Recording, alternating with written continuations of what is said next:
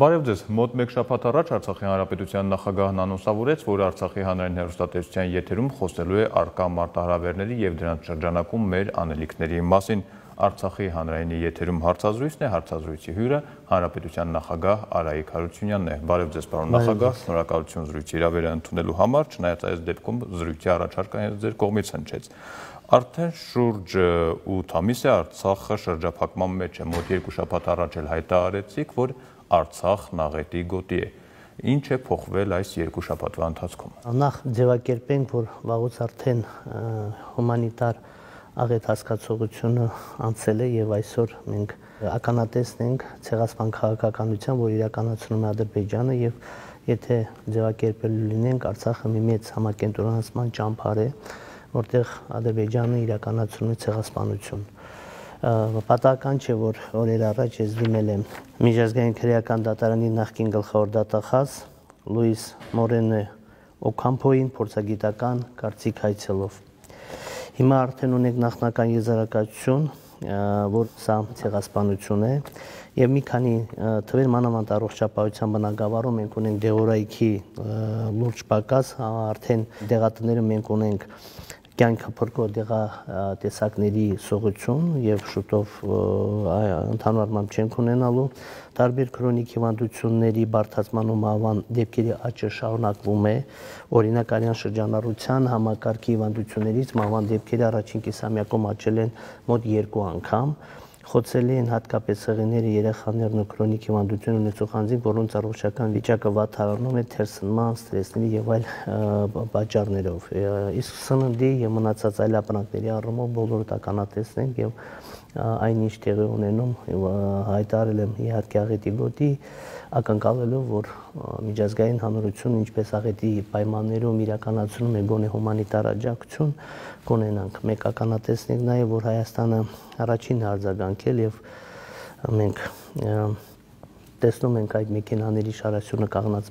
վանահակարի գետի կամրջի մոտակայքում իսկ Ադրբեջանը ելում է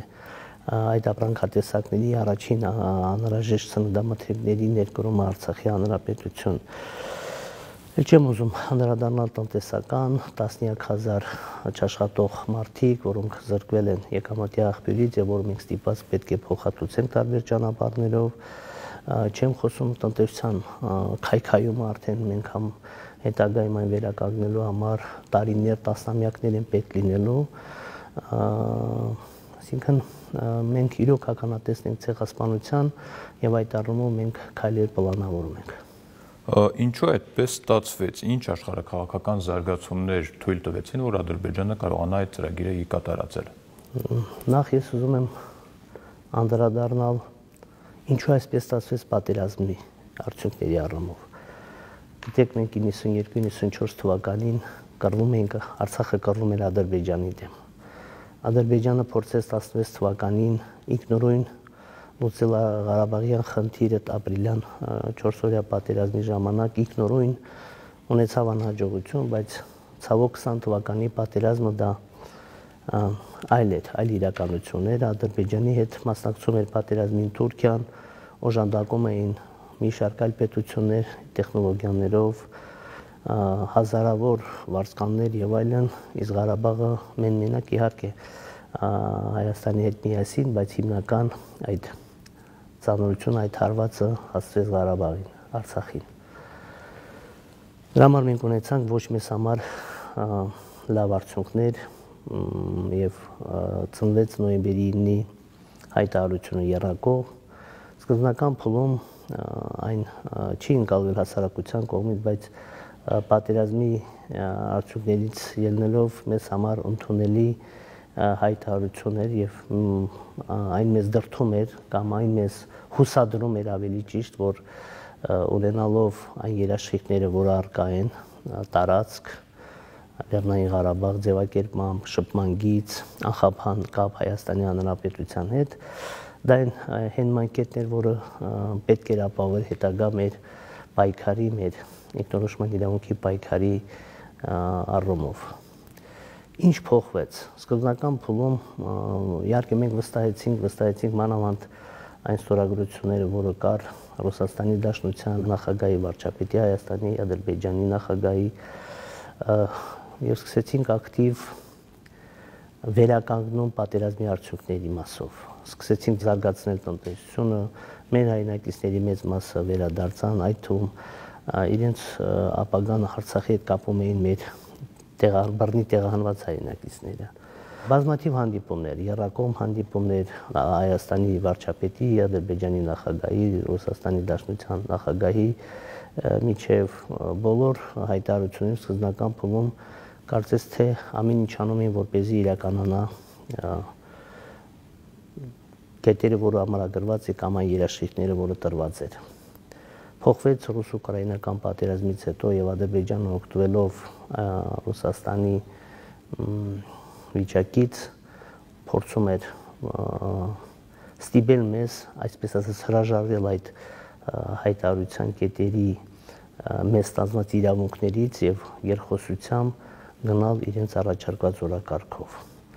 Դրանից հետո բազմաթիվ մեր կողմից խնդրանքներ, նամակներ առաջին հերթին Ռուսաստանի ղեկավարին, Հայաստանի վարչապետին, միջազգային բոլոր դերակատարներին եւ այն ինչ այսօր տեղի ունենում մենք զուշացրել ենք 1 տարի առաջ։ 1 տարի առաջ մենք խոսում էինք, որ Ադրբեջանը սկսել է ցեղասպան քաղաքականություն։ Ինչու այսպես ստացվեց երկու բառով Ադրբեջանը ուզում է հրաժարվել երակոմ հայտարարությունից եւ շարունակել պատերազմը, սա արդեն պատերազմ է։ Սա պատերազմի շարունակություն է պաշարման եւ հետո պաշարման արդյունքում դարձնելով Ղարաբաղը մի մեծ համակենտրոնացման ճամփար իրականացնելով ցեղասպանություն։ Ես ուզում եմ ընթերցել Ադրբեջանի նախագահի հայտարարությունը, որը նա արել է Բրյուսելում երակող հանդիպումից առաջ Փաշինյան, Ալիև եւ Շարլ Միշել, բայց հանդիպումից առաջ էր ՆԱՏՕ-ի գլխավոր քարտուղարի հետ հանդիպման ժամանակ նա հայտարարել է, որ Զանգեզուրի իր ձևակերպմամբ միջանցքը պետք է աշխատի Լաչինի միջանցքի տրամաբանության շրջանակներում Իհարկե մենք առաջին փուլում դրան ուշադրություն չենք դարձել, դա եղել է 21 թվականի դեկտեմբերի 14 մենք մտածում էինք, որ հայտարարությունը ճնշում գործադրելու Հայաստանի իշխանությունների վրա ստանալ առավելագույնը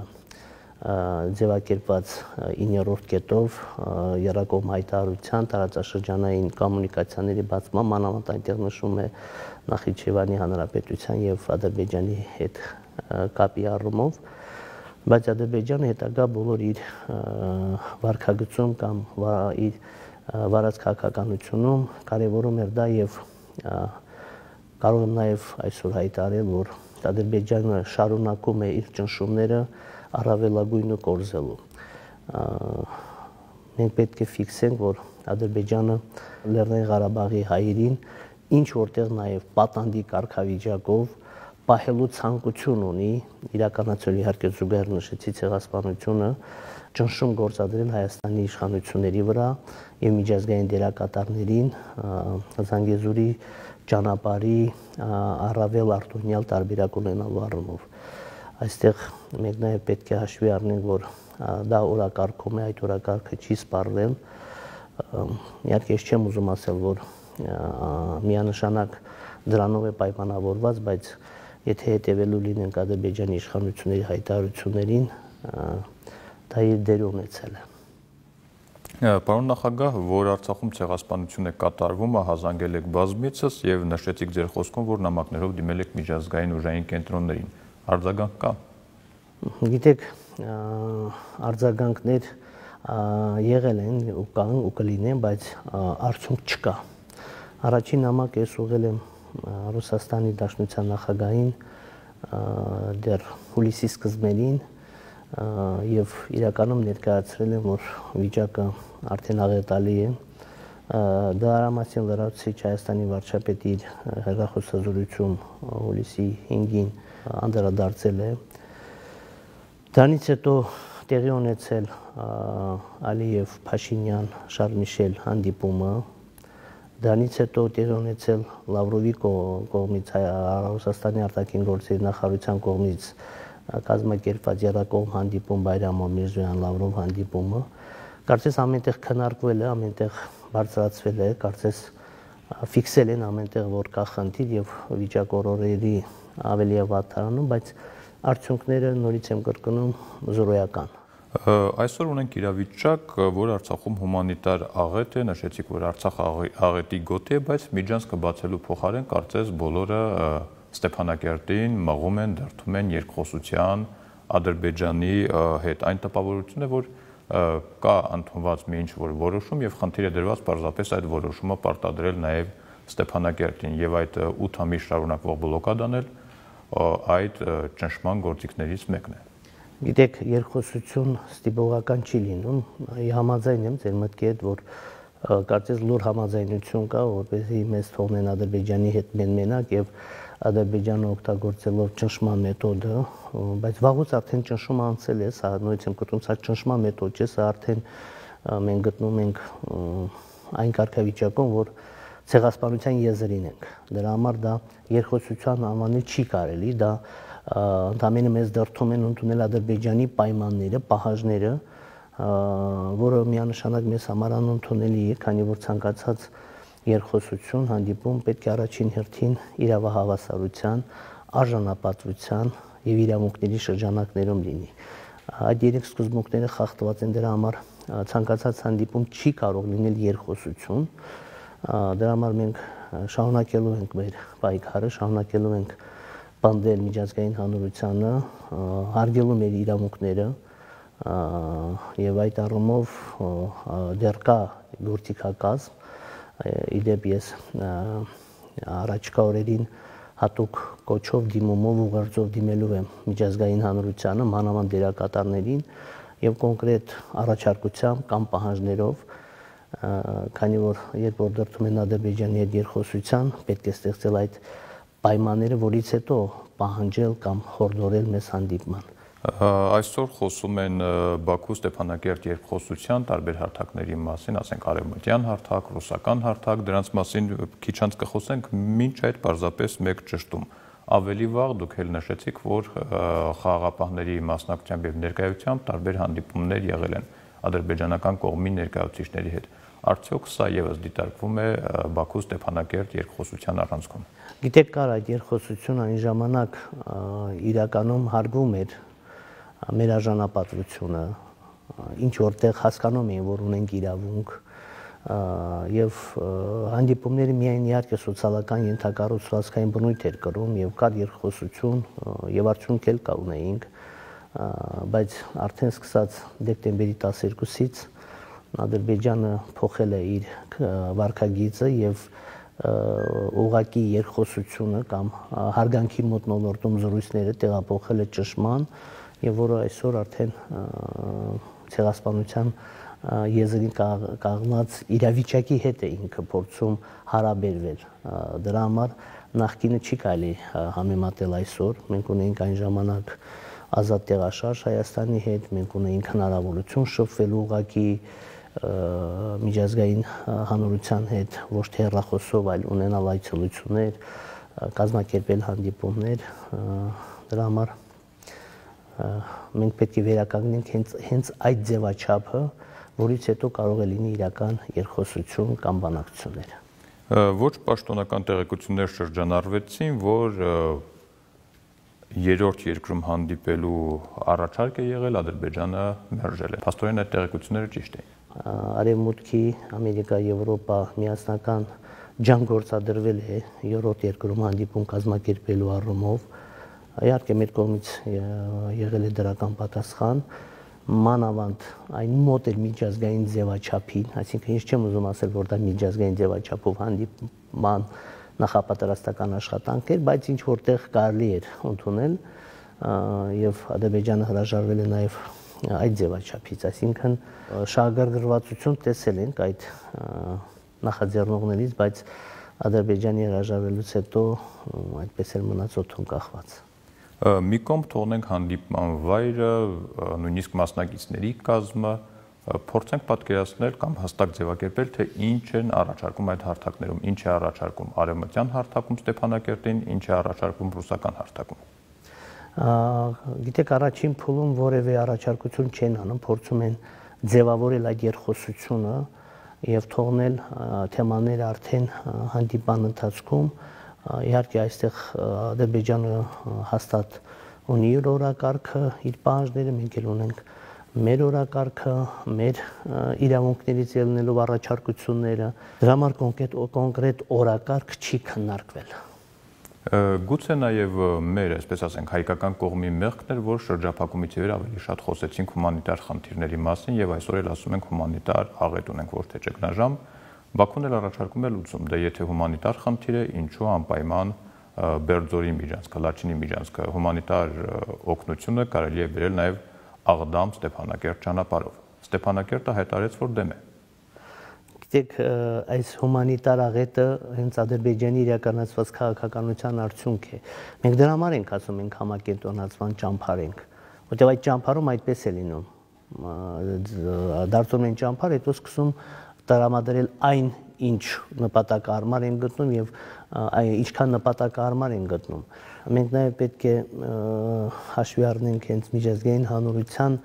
կողմից կարևորված լինելը Լաչինի միջանցքի առումով բազմաթիվ որոշումներ, Հաագայի միջազգային դատարանի որոշումը եւ այլն, դա հենց այն վկայությունն է, որ հումանիտար աղետը հետևանք է Ադրբեջանի կողմից չհարգելով միջազգային նորմերը, չհարգելով միջազգային պահանջները, չկատարելով Երակոմ հայտարարության գլխավոր կետերից մեկը։ Նաև մենք պետք է հիշենք, որ ցանկացած առաջարկություն,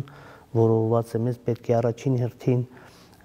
հարգվի միաժանապատվությունը, լինի միաժանապատվության շրջանակներում եւ լինի մարդը միջազգային մարդասիրական նորմերի, կանոնների համաձայն եւ ամենակարևորը ցանկացած կարևոր կենսական նշանակություն ունեցող առաջարկություն կամ որոշում մենք պետք է ունենանք ընդհանուր կոնսենսուս, որը պետք է արտահայտի առաջին հերթին մեր ժողովրդի տրամադրությունները։ Ադրբեջանը չի ཐակցնում, որ իր քաղաքականությունը խստացնելու է եւ վերջին դրվագը ամենաթարմ դրվագային էր, որ Կարմիր խաչի մեքենայից փաստացի բուժարու առևանգեց, Իդեպ Վագիվ Խաչատրյանի առևանգված քաղաքացու մասին նորություններ կան Ստեփանակերտը ինչ լծակներ ունի իր քաղաքացու կյանքը փրկել փորձելու համար։ Ցանկացած առաջարկության հիմքում պետք է նաև դիտվի մեր անվտանգությունը եւ Վագիվ Խաչատրյանի դեպքը հենց դրա վառապացույցներից է, որ Ադրբեջանի կողմից իրականացվող ցանկացած քայլ մեզ համար անվտանգային առումով ռիսկային է եւ մի մարդ, որը որևէ կապ չունի ռազմական գործողությունների հետ, արևանգում եւ ներկայացնում է որպես ցեղասպանություն իրականացնող անձ եւ ամենածանր այդ հոդվածներով փորձում է մեղադրել, ապա պարզ է, որ Ադրբեջանի քաղաքականությունը հետագայում այդպեսին է լինելու եւ ցանկացած Արցախի քաղաքացու կյանք վտանգված է։ Եթե նրանք կարողանում են առաջին հերթին մեղադրանք առաջադրել Վագիվ Խաչատրյանին, ապա Արցախում ապրող ցանկացած քաղաքացու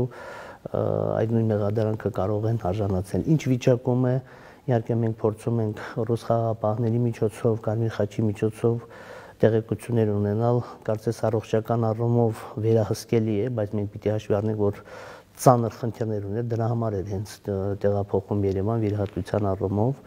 Ընդհանուր առմամբ մենք պայքարելու ենք եւ Վագիվ Խաչատրյանի ճակատագիրը մեզ համար շատ կարևոր է եւ հետակա մեր բոլոր շփումներում, մեր քայլերում մենք դա հիմք ենք ընդունելու։ Այսինքն, այսինքն Ադրբեջանի պահվածքը Վագիվ Խաչատրյանի նկատմամբ դա հենց այն ցուցիչն է լինելու, թե ինչպես են փորձում հետագայում վարվել մնացածների նկատմամբ։ Իդեպ նաև ձեր եւ Արցախի Հանրապետության նախկին ու ներկա այլ պաշտոնյաների նկատմամբ եւս Բաքուն չի ཐակցնում իր հետաքրքրվածությունը հայտարարությունների եւ սպառնալիքների հասցեագրում, իսկ Ադրբեջանի նախագահն էլ պահանջում է ամբողջությամբ կազմալուծել պետական ինստիտուտները, որն է պաշտոնական Ստեփանակերտի պատասխանը։ Մեր առօրյա աշխատանքն է, մեր պատասխանը, որ ոչ թե մենք կազմալուծում ենք, այլ հակառակը մենք փորձում ենք շարունակել այս ցաներ իրավիճակներում իրականացնել մեր պարտականությունները, այն պարտականությունները, որը ստացել ենք համանadrությամբ, որը վստահել է մեզ մեր ժողովուրդը, որը շարունակությունն է 91 թվականի մեկ շարժման։ Ընդ որում ձեզ նաև մեկ այլ հարցում են մեղադրում Բաքվից, նշում են, որ ժողովուրդը ցանկանում է հպատակվել Ադրբեջանին, բայց իշխանությունները խանգարում են։ Նաև նշում են, որ Արցախի իշխանությունները լեգիտիմ չեն։ Գիտեք, շատ հետաքրքիր հարց է։ Բաքվում մեզ մեղադրում են, որ ժողովուրդը ունի այլ կարծիք, մենք խանգարում ենք կան քաղաքական ուժեր Հայաստանի Հանրապետությունում մանավանդ փորձում են մեզ մեղադրել Ադրբեջանի քաղաքականություն իրականացնելու առումով իհարկե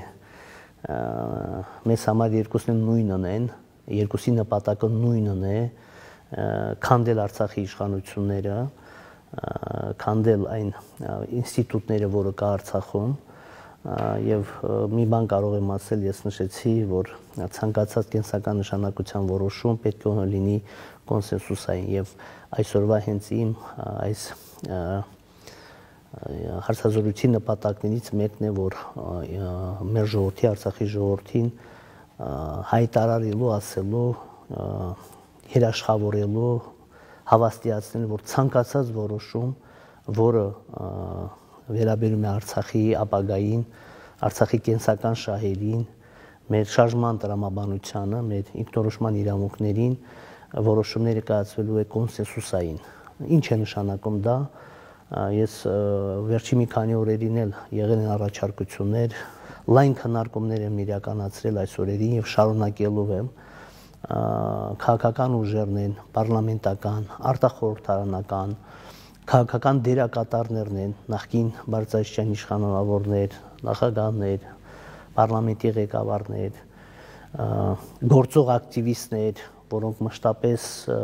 ակտիվ քաղաքական process-ների մեջ են, եւ իհարկե հանրության այն զանգվածի հետ, որոնք ցանկություն ունեն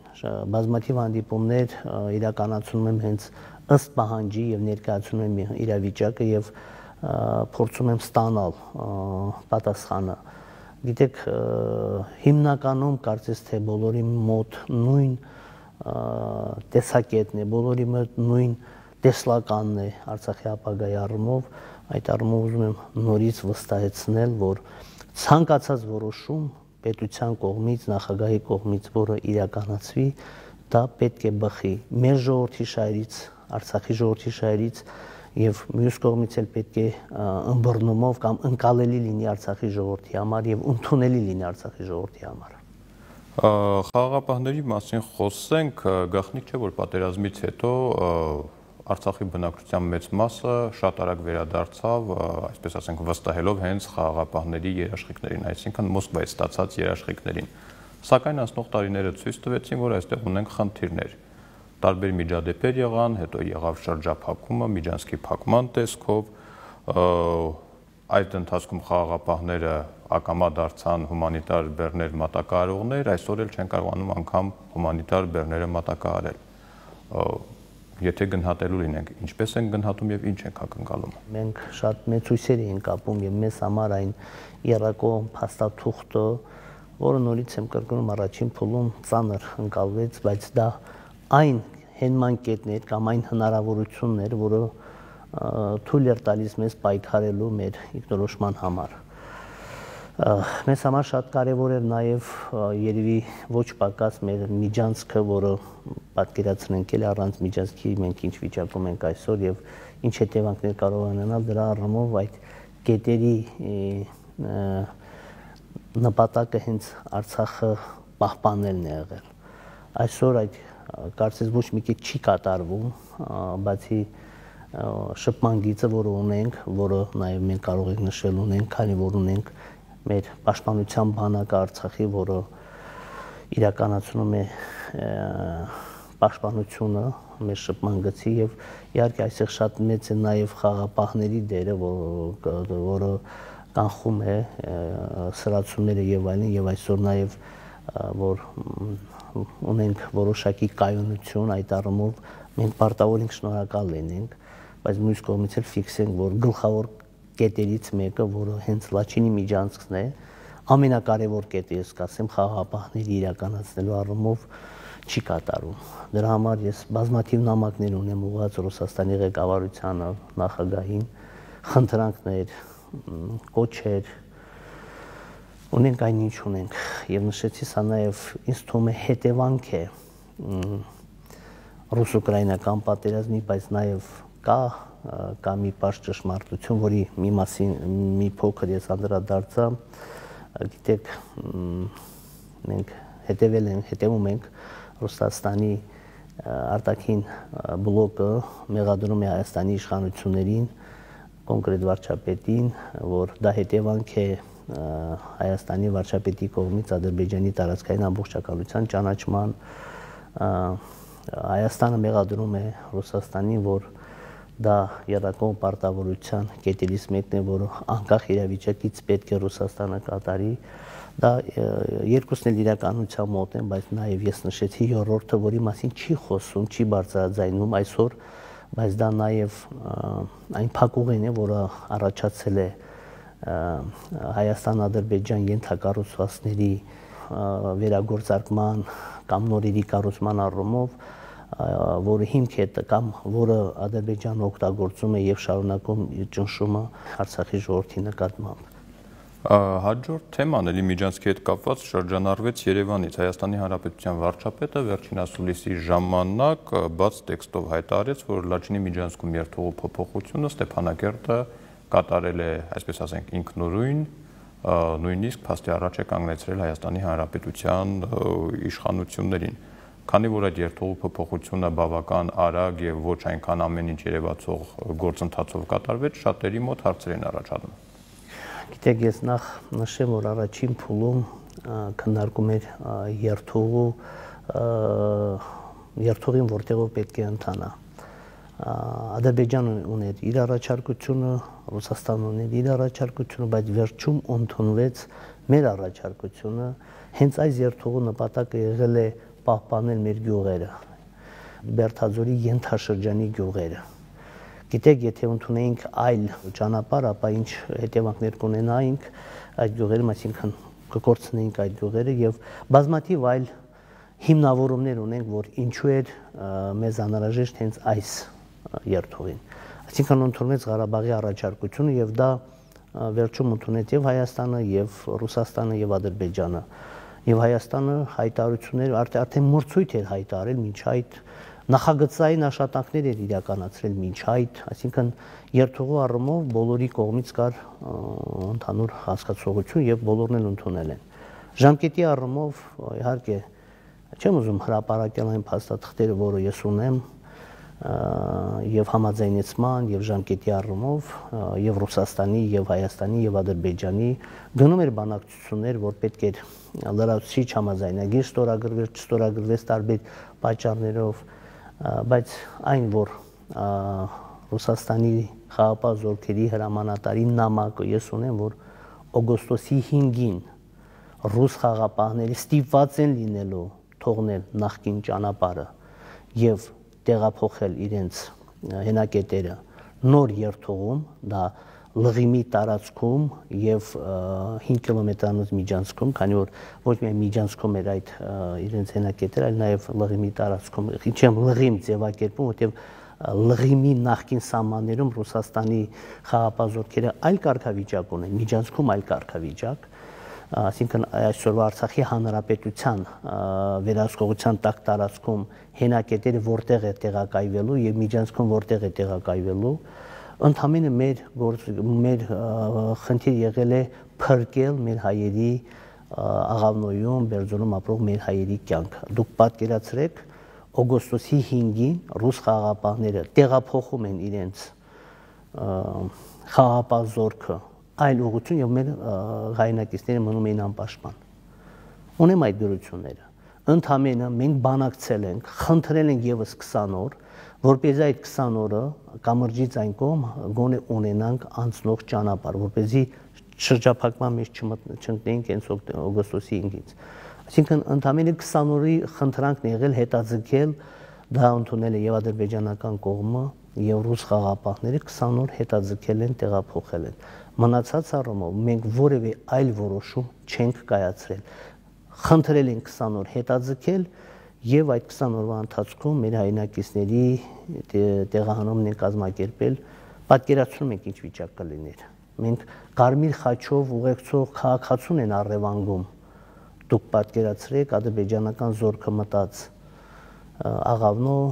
Բերձոր եւ մեր մի քանի 100 հայրենակիցներ մնում էին այնտեղ արդեն պատանդի գերու, չգիտեմ, կարգավիճակում։ Նաև մենք ֆիքսենք, որ երթողու փոփոխությունը ստորագրված է երեք ղեկավարների կողմից, այսինքն մենք չենք ստորագրել երթողու փոփոխությունը եւ այս շրջափակումը չկապենք էլի երթողու փոփոխության հետ։ Ադրբեջանը ոչ այդ փակել է Շուշիում, հիշում եք բնապահպաններին, այսօր փակել է կամրջում, այսինքն Ադրբեջանի գործողությունները պայմանավորված չեն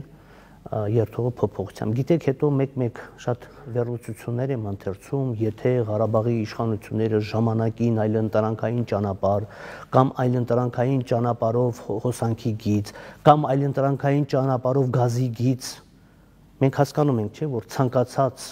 ճանապարհով, ցանկացած երթուղով ունենալով գազի գիծ կամ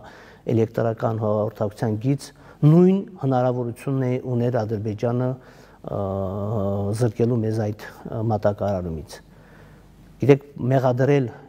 չհասկանալով ինչ է մեղադրում եւ իհարկե նաեւ այն խավը, որը տեղյակ չէ այդ մանրամասնություններին, սկսում է շահարկել դա Ադրբեջանի շրջափակումը ճանապարհային, գազի, էլեկտրականության որևէ կապ չունի ինչ տարածքով է այն հասնում Ստեփանակերտ եւ Արցախի հանրապետություն։ Մեկ այլ մեղադրանք, որ էլի հնչեց Երևանից, նույն ասուլիսի ընթացքում հետեւյալն էր. Հայաստանի Հանրապետության վարչապետը նշեց, որ Արցախի իշխանությունները Հայաստանի պետբյուջեից Արցախին հատկացված միջոցները արդյունավետ չեն ծախսել արդյոք պատշաճ հաշվետվություններ չեն տրվում պաշտոնական Երևանին, թե ստացված միջոցները ինչի համար են ծախսվում նախ թույլ մի քանի թիվ հրապարակեմ, հնչեցվեց թվեր եւ իհարկե հաշվետվություն չեմ տալիս, հաշվետվությունը մենք ամեն ամսյա ամենօրյա տալիս ենք Հայաստանի ֆինանսների նախարարությանը։ Կոնկրետ եթե 2023 թվականին է խոսքը վերաբերվում, տրամադրվել է արդեն 136 միլիարդ գումար, բայց մենք հաշվենք, որ այդ գումարից արդեն մոտ 52 միլիարդ մենք ուղղել ենք Հայաստանի Հանրապետության բանկերի վարկերի մարմանը, որը ստանձնել է Հայաստանի կառավարությունը պատերազմից հետո փրկելու Հայաստանի բանկային համակարգը։ Այսինքն իհարկե մենք շնորհակալ ենք, որտեղ այն վարկերը, որը տրամադրել են Հայաստանի բանկային համակարգը Արցախում, տնտեսությանը, պետությանը եւ այլն, Հայաստանի կառավարությունը վերցրել է։ Մենք այդ գումարները այսօր ուղում ենք միայն ու միայն սոցիալական ուղղվածությամբ, որ เป զի հասկանալի լինի նաև 2022 թվականի միջև շրջափակումը մենք ունեցել ենք հարկային մուտքերի այնպիսի ցուցանիշ, որը արդեն հավասարվել էր 19 թվականին մեր սեփական մուտքերը անցել էին 45 միլիարդը, մոտ 46 միլիարդի սեփական մուտքեր ենք ունեցել 22 թվականին եւ արդեն վերականգնում էր վերականգնում էր Արցախի տնտեսությունը բայց շրջափակումը ոչ միայն դադարեցրեց, այլ քանդեց մեր ամբողջ տնտեսությունը։ Մենք պետք է հասկանանք, որ առանց Հայաստանի Հայաստանի ժողովրդի, հայ ժողովրդի աջակցության եւ դա էլ բավարար չէ միջազգային օգնության անհնարին է լինելու գոյատևել։ Չկա տնտեսություն Արցախում։ Բոլորը համարյա գործազուրկ են։ Մենք պետք է այս ամենը գիտակցենք եւ տարբեր դրանից հետո տարբեր շահարկումներ օրինակ խոսում է հիմնադրամների փոխառությունների մասին։ Նախ փոխառություն դա վարկային վարկեր են։ Այսինքն հիմնադրամները, քանի որ իրավաբանորեն փոխառություններ են տրամադրում, ոչ թե վարկեր, բայց նշեմ, որ այդ պատերազմից հետո կոնկրետ ներդրումային հիմնադրամը տվել է փոխառություն 19 միլիարդի ամբողջը, որից մոտ 12 միլիարդը միայն բնակարանային ծրագրերի համար։ Այսինքն Ստեփանակերտում այն բնակարանաշինությունը, որը ակտիվ թափ էր առել, որը մեր նպատակն է եղել ապահովել 4000 ընտանիքների, որի համարյա կեսը Ստեփանակերտում հենց այդ ռեսուրսներով է իրականացվել։ Դրա համար մենք պետք է հաշվենք։ Թվերը նայում են մեծ թվերը չհասկանալով, չգիտակցելով։ Մոտ 5 միլիարդ տրվել է բնակարաններ երկրորդային շուկայից ձեռք բերելու եւ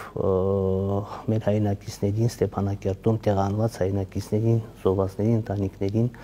բնակարաններով ապահովելու ուղղությամբ։ Այդ հաշվետվությունը կա եւ դատախազությունը եւ վերահսկիչ վերակնիչ հաշվեկնիչ պալատը ուսումնասիրում են, շարունակում են ցանկացած չարաշահման դեպքում քրեական գործ է հարուցելու։ Բայց օգտվելով նաև առիթից ես ուզում եմ նաև մի թիվ հրապարակել կոնկրետ երբևէ ինձ հարկ չեմ համարել դրա մասին հայտարարելու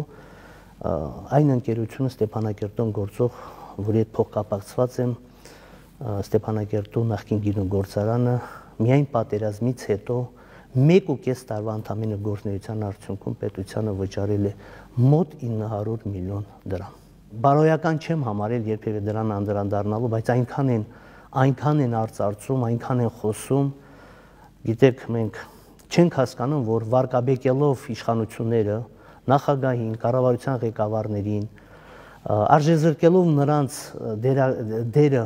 ընդհանուր ժողովրդի այս ցաներ իրավիճակում, դա հենց կազմականդումն է պետության։ Ես պատրաստ եմ ցանկացած հաշվետվություն եւ ցանկացած գործունեություն թափանցիկ ներկայացնել։ Այն հարկերը, որը մտցվել է իմ կողմից ստեղծված ընկերություններից, Շատ մեծ ծրագրեր է իրականացվել դրա արդյունքում Ղարաբաղում։ Եվ այսօր էլ այդ ընկերությունների մի մասը հենց այս մեր դիմանդորողականության աստիճանի բարձրանցմանն են օգնում։ Չեմ ուզում մանրամասնել։ Ես ուզում եմ նորից շնորհակալություն հայտնել մեր Հայաստանի քույր ու եղբայրներին Սփյուռքին։ Շնորհակալություն հայտնել Հայաստանի կառավարության իր աջակցության համար, բայց չկասկածել, որ այդ գումարները օգտագործում են անտեղի եւ ես ուզում նաեւ հիշեմ Վայ Հայկիի ստեղծագործությունը, որ իմ փոխադրության թեման է եղել 10-րդ դասարանում Կաթից փարան չմոռնաս մամա, դա մայրը իր անառակ որդուն մեղադրում է, որ երբ որ փորձում է փոխհատուցել, կարող եք ցանոթանալ, մենք անառակ զավակ չենք եւ մենք շնորհակալ ենք եւ մենք մեր դիմադրելով Արցախում ապրելով մեր պարտքն ենք տալիս ոչ միայն հայրենիքին, մայր Հայաստանին, Սփյուռքին, այլ մարդկությանը։ Մենք դա այդպես ենք հատուցում, մեր մեզ ուղված միջոցները։ Իդեպ հատկապես նման մեղադրանքներ հնչեցնելուց նորից արգյական է դառնում հարցը, թե Ստեփանակերտն ու Երևանը պաշտոնական մակարդակում ինչ հարաբերություններ ունեն։ Երբեմն ասում են շատ եք համերաշխ, երբեմն ասում են հակասություններ ունեք։ Իրականում պատկերն ինչպիսին է։ Գիտեք, ունենք բավական ակտիվ շփումներ եւ դա միանշանակ այլ դեպք չի էլ կարող լինել։ Բարբերաբար, եթե ոչ ամեն օր շփում ունենում ենք խոսում ենք իրակա խնդիրների մասին, լինում են տարաձայնություններ եւ այդ ամենակարևոր տարաձայնությունը միշտ պատկերացնում եք, հասկանում եք դա Ղարաբաղյան խնդրի հետ է կապված։ Ես ուզում եմ հորդորել Հայաստանի իշխանություններին զերծ մնալ այն քայլերից, հայտարարություններից, որը կարող է կասկածի տակ դնել Արցախի ինքնորոշումը։ Գիտեք, շարժումը սկսվել է 88 թվականին ոչ թե մարդու, ոչ թե ղեկավարի, ոչ թե իշխանության, այլ ժողովրդի կողմից այն արտացոլվել է հանրակրվեներով տարբեր համատեղ ազգային ժողովների, պարլամենտների նիստերով եւ այլն եւ այն որևէ մի մարդու մենաշնորհ չէ։ Եվ ուզում եմ այստեղ հորդորել Հայաստանի իշխանություններին Լեռնային Ղարաբաղի հետ կապված լինել շատ զգոշ ոչ մի ոչ մեկ իրավունք չունի կասկածի տակ դնելու եւ սահմանափակելու մեր ինքնորոշումը, մեր ինքնորոշման իրավունքը։ Դա բացառիկ իրավունք է, որը չի տրվել իշխանությունների կողմից, այլ միջազգայինորեն ճանաչված է եւ այդ իրավունքի առումով պատրաստակամություն է հայտնել պայքարելու Արցախի ժողովուրդը, որին սատար է կաղնում հայ ժողովուրդը։ Դա մենք պատրաստակամություն ենք հայտնել հասկանալով, որ ունենալու ենք պատերազմներ, զրկանքներ, Այսօր Արցախի ժողովուրդը կրում է զրկանքների գիտակցելով մի բան, որ սա այն իրավունքի շարունակությունն է, սա այն իրավունքի համար պայքարն է, ավելի ճիշտ, որը մենք սկսել ենք 88 թվականին։ Եվ այդ առումով իհարկե մենք պետք է գիտակցենք, որ կլինեն տարաձայնություններ, բայց համոզված եմ, որ ամեն ինչ հարթվելու է։ Ամեն ինչ չի կորցված իշխանությունների մասով կարծես թե հստակ էր դիրքորոշումը Պաշարված Արցախը այսօր ինչ է ակնկալում հայությունից, հայության Հայաստանում ապրող հատվածից եւ Սփյուռքում ապրող հատվածից։ Առաջին հերթին բարոյական աջակցություն։ Գիտեք, մենք պետք է գիտակցենք, որ հայությունը հասկանում է։ Ես նշեցի, որ այստեղ Արցախում այս պայքարը դա պայքար է բոլորի փոխարեն, բոլորի համար եւ նպատակը մեկն է՝ փրկել Արցախը,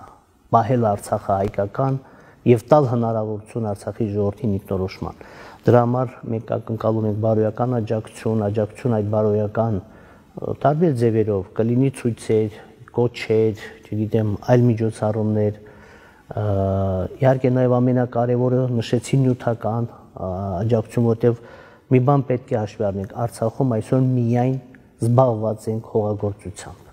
Վերադառնանք շրջափակմանն ու հումանիտար իրավիճակին, ձեր խոսքից ու գործողություններից կարելի է հասկանալ, որ Արցախը չի հանձնում, շարունակում է պայքարը բայց երբ որ խոսում ենք միջոցների մասին այդ պայքարը շարունակելու կարծես թե միջոցների հարցում ունենք խնդիրներ անկամ այսօր հացի խնդիր ունենք եւ այդ ճանաչածի հարցում մեղադրում են նաև իշխանություններին։ Եթե գիտեիք, որ պայքարը շարունակում ենք եւ իրավիճակը այդքան լարվելու է, ինչու նախապես չէիք պատրաստվել։ Նախ այո, եւ այսօրվա հենց այս հարցազրույցի նպատակը նա է, որ Արցախի ժողովրդին հայտարարելու, որ Արցախի իշխանությունները ունենալով Արցախի ժողովրդի կարծիքը, տեսակետը, պատրաստակամությունը պայքարի հայտարարում է, որ մենք առաջնորդելու ենք այդ պայքարը։ Այդ պայքարը մենք չենք հայտարարում կամ մենք չենք պլանավորում կամ կարևորում։ Դա ժողովուրդն է կարևորում եւ մենք պարտավոր ենք հարգել ժողովրդի պայքարելու այդ ցանկությունը։ Շարունակելու ենք պայքարը, ինքնորոշման պայքարը։ Իսկ այն մեղադրանքները, որը կա, ես մի քանի թիվ նշեմ, իհարկե փորձում եմ թվերից, հաշվարկներից շատ չծանրաբեռնեմ, մեզ մեղադրում են, որ այո, այդ 6.5-7 ամիսների ընթացքում մենք կարող էինք ավելի շատ պատրաստված լինել։ Այո, կարող էինք, բայց այսօր մենք ստանում ենք միայն կարտոֆիլի գծով 5-6000 տոննա բերք, ծորենի գծով այնքան, որը թույլ է տալու դեռ ձգել ունենալ ալյոր, նույն բանջարաբոստանային հազարավոր տոննա ապրանքներ։ Այսինքն կառավարության նպատակը ոչ թե եղել է բերել պահեստավորել, այլ բերել արտադրել եւ այդ արտադրանքն է մեզ թույլ տալիս հնարավորություն տալիս պայքարելու համար ունենալու գոնե նվազագույն սնունդը, նվազագույն ապրանքը։ Գիտեք, նորից եմ նշում, կարելի է բազմաթիվ օրինակներ, բա ինչու այս ապրանքատեսակը այսքան ժամանակվա համար չեք նախատեսել։ Կարող են նման որոշ հաշվարկներում սխալվել են կամ չենք պատկերացրել, բայց հենց կառավարության գործնեության արդյունքում մենք ունենք հնարավորություն դեռ պայքարելու, դեռ սովի չմատնվելու, դեռ ունենալու նվազագույն սնունդը, որը թույլ է տալիս մարդկանց շարունակելու, ապրելու, գոյատևելու եւ պայքարելու։ Այդ առումով մեղադրանքները անհիմն են ինչքան պետք է դիմանանք եւ ինչի վրա ենք հույս դնում արդյոք նկատում եք միջազգային ճնշման աճ ադրբեջանի վրա եւ արդյոք դա գործնական դրսեւորումներ կունենա ես նշեցի որ առաջիկայում լինելու է ուղերձ միջազգային հանրությանը եւ դերակատարներին, այո մենք ակնկալում ենք ՄԱԿ-ի անվտանգության խորհրդում հրատապ քննարկում, տարբեր այլ դերակատարների մասնակցություն, աջակցություն, ճնշում Ադրբեջանի վրա։ Այո, դեռ մենք չենք կորցրել մեր հույսը միջազգային ազդեցության առումով։ Դրա համար այս փուլում մեր պայքարը դեռ շարունակվելու է այդ հարթակներում, եւ ակնկալում ենք որոշակի հաջողություններ ունենալ նու լավ, սպասում ենք միջազգային ճնշման աճին, բայց մյուս կողմից էլ բաց ենք կոնկրետ հարցերով ու ձևաչափով Ադրբեջանի հետ բանակցությունների ու հակամարտության խաղաղ կարգավորման։ Սակայն ժողովրդի համար անորոշություններն ու հարցերը դեռ շատ են եւ գլխավոր հարցը կապված է վաղվա օրվա հետ, հանուն ինչի պետք է դիմանանք այդքան զրկանքների։ Ես նշեցի, որ մենք միշտ բաց ենք եղել Ադրբեջանի հետ շփումների երկխոսության, բայց այն պետք է բխի մեր արժանապատվությունից, մեր իրավունքներից։ Իսկ հանուն ինչի նախ հանուն մեր ապագայի, հանուն հայկական Արցախի, հանուն Արցախի ժողովրդի ինքնորոշման իրավունքի, հանուն մեր papերի, մեր քույր ու եղբայրների, որոնք նահատակվել են այս ընթացքում նպատակների զրկանքները ժամանակավոր են, զրկանքները անցողիկ են։ Իհարկե հետևանքներ ունենում են, բայց ես չեմ ուզում որ այդ փոքր հետևանքները առաջնային պլան մղվի եւ մեր գլխավոր նպատակը ստորադասվի դրա համար հանուն Արցախի փրկության, հանուն Արցախի ապագայի։ Շնորհակալություն հարցազրույցի համար, պարոն նախագահ։ Հիշեցնեմ, որ հարցազրույցի շրջանակում այսօր զրուցեցինք Արցախի Հանրապետության նախագահ Արայիկ Հարությունյանի հետ։ Այսքանն ենք նախատեսել։ Մնացեք խաղաղությամբ։